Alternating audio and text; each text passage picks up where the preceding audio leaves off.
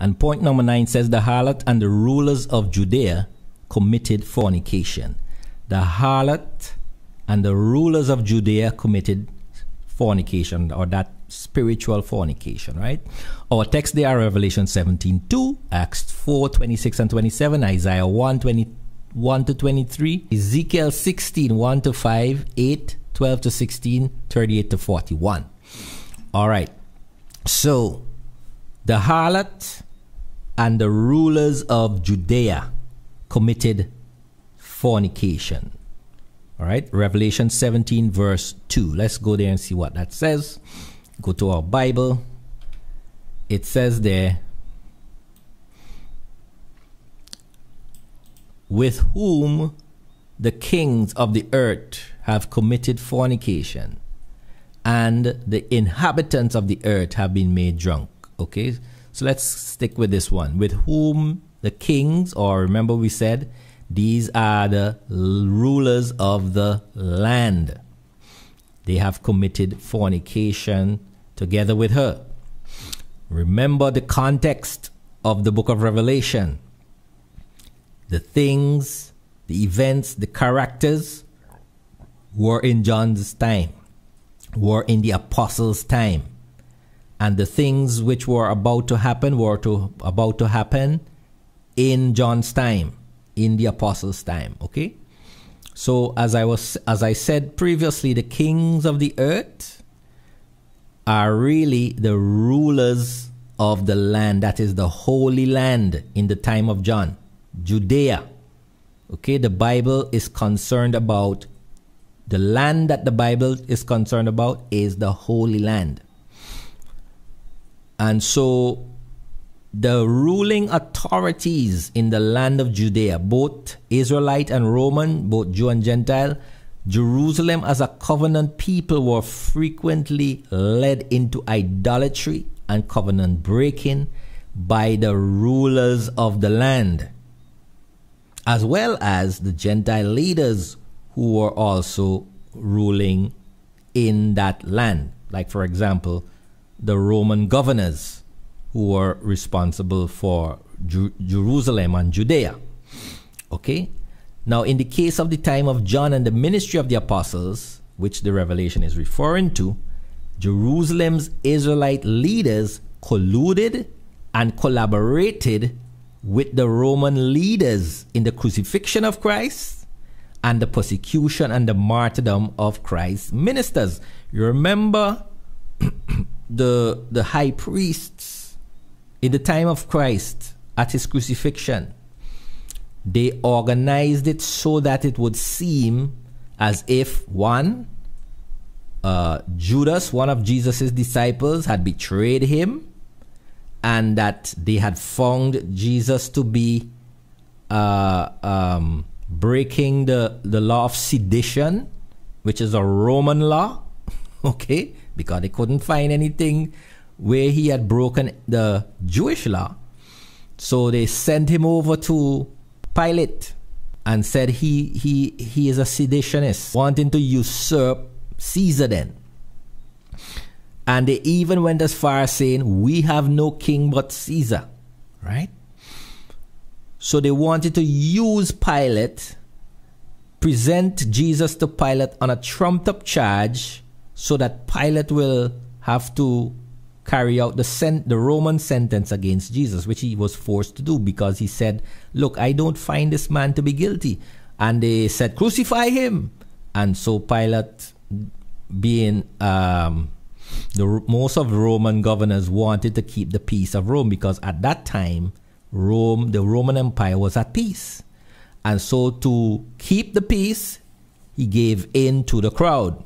And that is how Jesus was crucified, right? And the, the Jewish leaders felt, oh, well, we didn't crucify him. It was Rome who crucified him. But according to God, on the day of Pentecost, Peter, speaking full of the Holy Spirit, said, You, you men of, of Israel, have crucified, you have killed the author of life. So, according to God, it was Jerusalem who had killed Jesus. Jesus himself had said, he would be killed in Jerusalem. Okay? Because he was a prophet. So, anyway, so there was a collaboration between the kings of the earth, the kings of the Holy Land, the rulers of the land, in crucifying Christ and in the persecution and martyrdom of Christ's ministers, his apostles and prophets, right? So let's see how the apostles understood this phrase, kings of the earth, okay?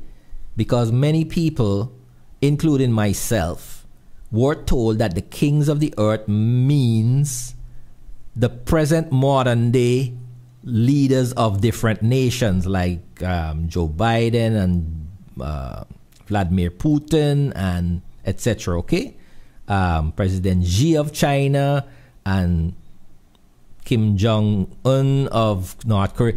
According to the modern understanding, these are the kings of the earth. But Revelation was not talking about the modern nations. Revelation was talking about the Holy Land, which was at the time of the apostles. That was the earth, the gay of the of the book of, Rev, of of which God was concerned. Okay, the Holy Land, Judea right? And we will see that that was the understanding the apostles had, which is it doesn't matter what you think, right? You we have to we have to see how did the apostles who were God's anointed and appointed messengers and interpreters of scripture they had the authority to say what this thing meant good so i rather take their um, interpretation than anybody else who go who went to get doctors of divinity and masters in theology. If you ain't line up with what the apostles say, then I really don't have any respect for such people, right? So the kings of the earth. Let's see in Acts chapter 4, verse 26 and 27, right? The kings of the earth. How did the apostles understand the kings of the earth. Because once we get their understanding, that should settle it. Now, if we go just jump up to verse 25 here, okay, we have the apostle, apostolic church praying. And they are praying and they are using Psalm chapter 2, right? They are quoting Psalm chapter 2 and they are understanding Psalm chapter 2 as being fulfilled based on what they had, what Christ and his disciples and his apostles were, were experienced or had experienced. Okay?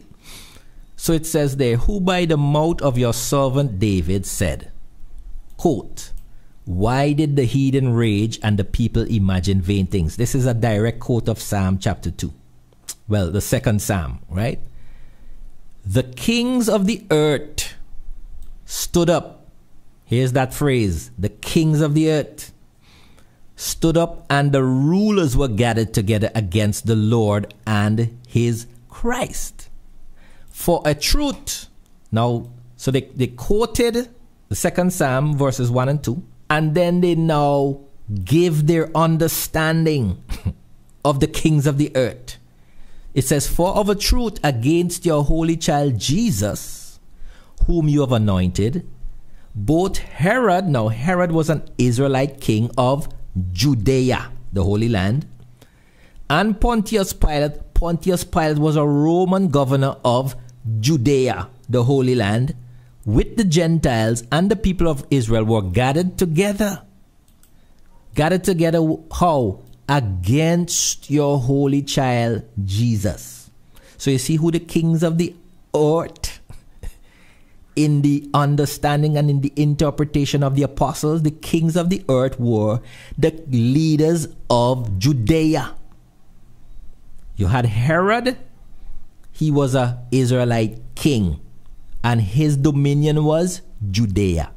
You had Pontius Pilate, he was a Roman governor, and his jurisdiction was Judea.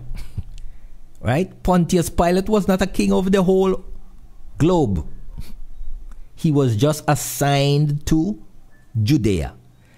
King Herod was not the king of the entire planet, he was just the king over Judea. So the kings of the earth is more correctly translated the kings or the rulers of the Holy Land. Okay? Now, the kings of the land now, the kings of the Holy Land or the rulers of the Holy Land historically committed fornication with Jerusalem. Historically, spiritual fornication was always committed in the form of covenant abomination, such as idol worship. The leaders of Jerusalem were the ones who went. You even look at Solomon, for example.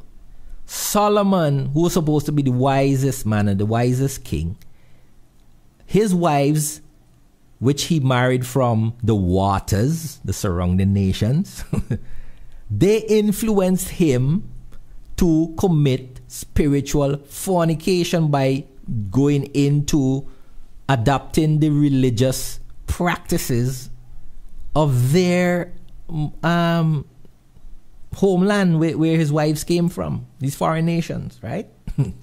and so Solomon was a king of the land. Okay? King of the land. So let's look at um so so so these leaders influence the people of Jerusalem to adopt idol worship covenant ab- abomination. Adopt religious practices of the surrounding nations covenant abomination. These are spiritual fornication they are committing. Let's look at Isaiah chapter 1 verse 21 to 23 right? Isaiah two, chapter 1, 21. Right? We're looking at how these kings of the earth, along with Jerusalem, committed spiritual fornication, right? What was the abominations that they did? Look at what God said there. Verse 21 How is the faithful city what faithful city is that? Jerusalem. How the faithful city became how is the fit, faithful city become what? An harlot. A city being a harlot, Jerusalem being a harlot, is was nothing new.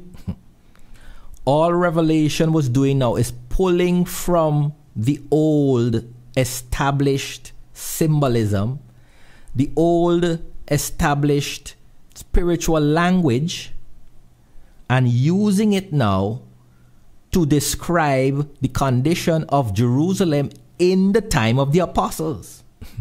it was even using events that had already happened in the time of the of the first temple and using those events now to describe what would happen to Jerusalem of the second temple in John's time, right? And we'll see that.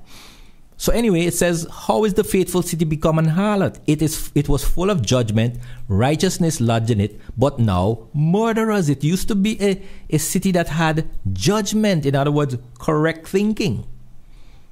But and and righteousness lived there, but now murderers live there, and that was in the time of Isaiah.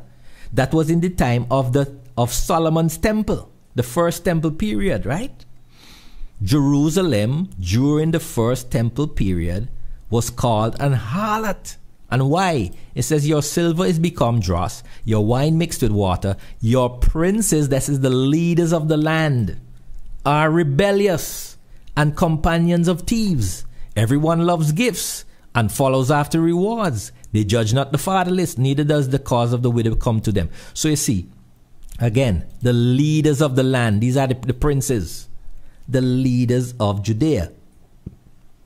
They were the cause of Jerusalem be, being called a harlot. Again, the history of Jerusalem's harlotry, her covenant abominations, reads like a tragic love story. if we go to Ezekiel 16, right? Ezekiel 16, let's look at that. Again, these are some interesting passages that you can read in your leisure and pleasure.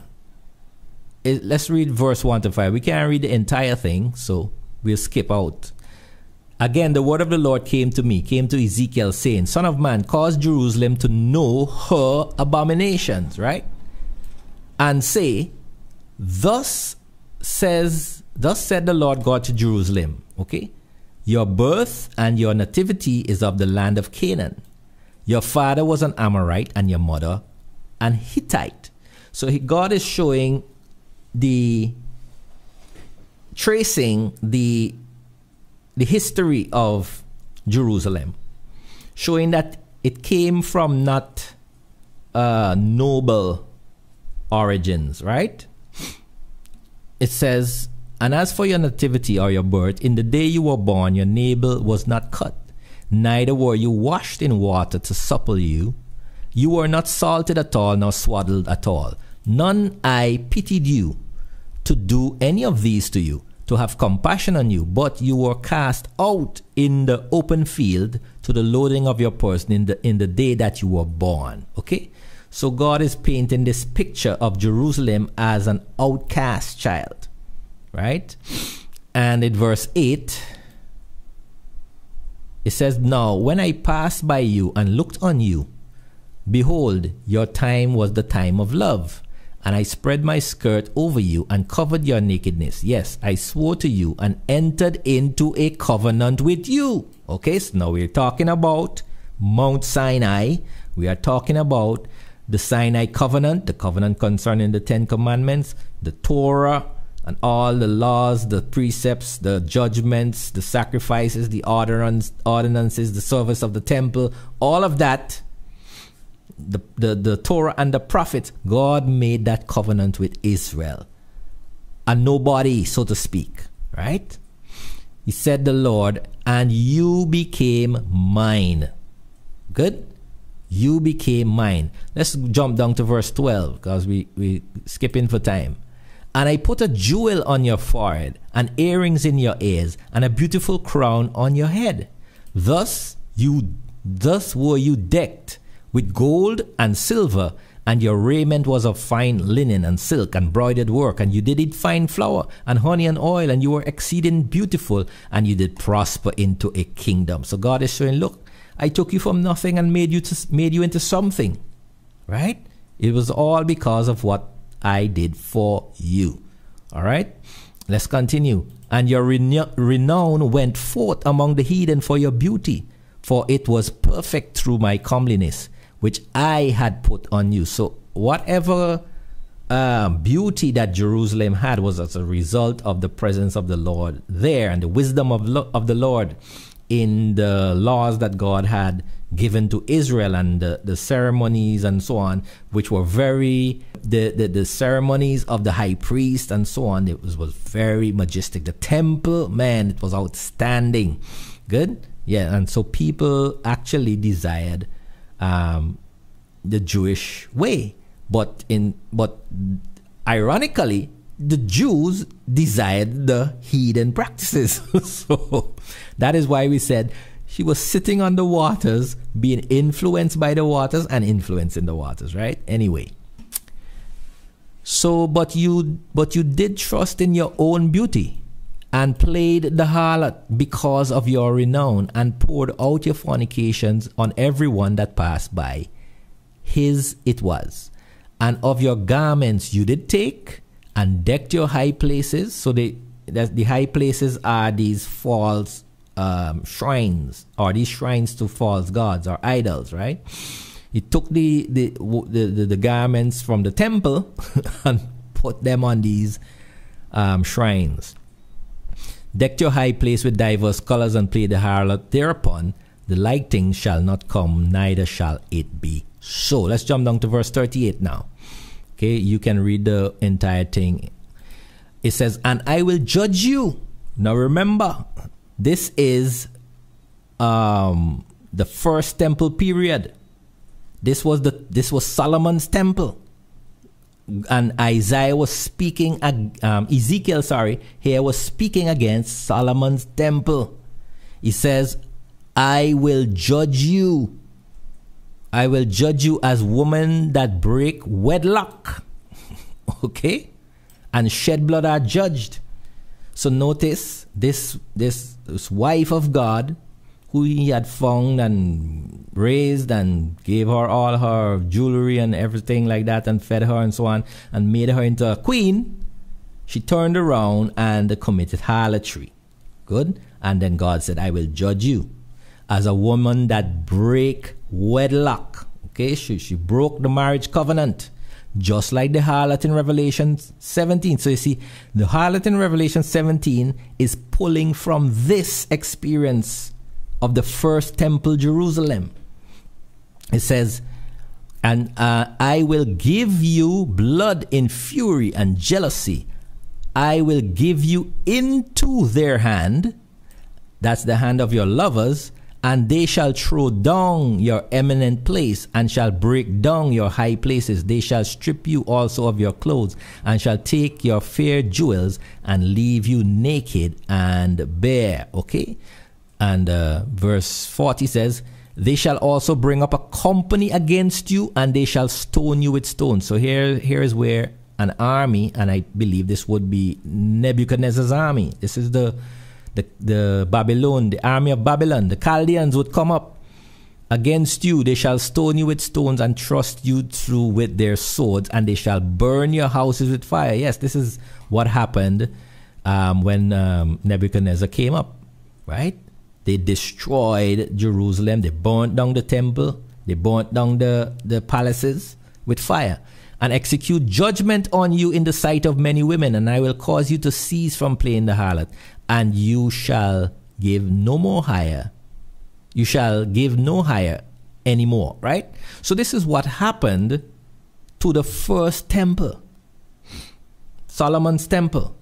Then after the 70 years, they rebuilt the second temple, which would be Zerubbabel's temple, which was standing in the time of Christ and in the time of the apostles. And that temple, the leaders again had begun to, well, had not begun, they had rejected the Son of God, which was the ultimate abomination, right? They had rejected the Son of God. That's the ultimate abomination. And they had sought to eradicate the preaching of the gospel. right? So, what Ezekiel is talking about here occurred 600 years before Christ. Okay, when when when as a result of Jerusalem's abominations, as a result of Jerusalem's fornication, God allowed Nebuchadnezzar and Babylon to come up and destroy the temple, destroy the city, and take them captive into Babylon. That was 600 years before Christ. So Revelation 17 now is pulling from that as an example of what would happen to the second temple, Zerubbabel's temple, right?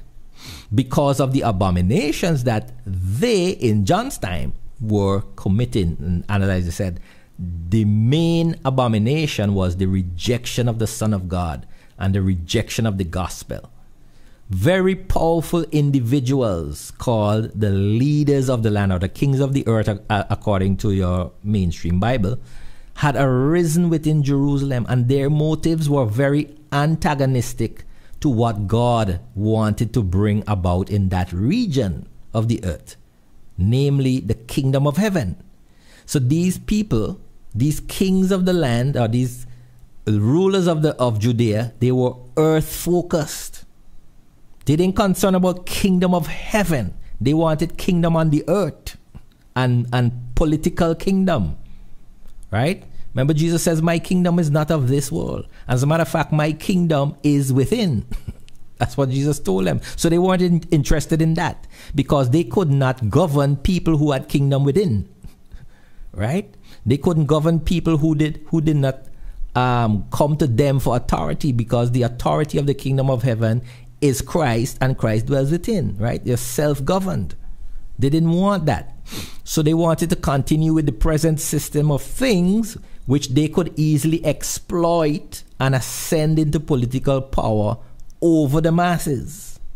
And for this reason, they convinced Israel to reject the gospel and they convinced Israel to eradicate the preachers of the gospel, the, the, the, the, the disciples, the apostles, and the, the prophets of Jesus, because it did not align with their aspirations of a political kingdom.